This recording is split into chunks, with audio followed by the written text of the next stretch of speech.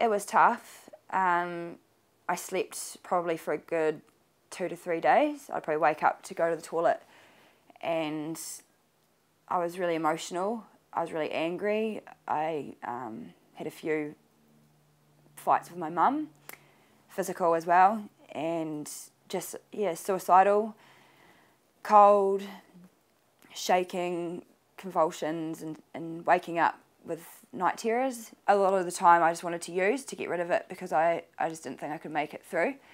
I had a lot of flashbacks um, to obviously when I was raped and kidnapped and things like that.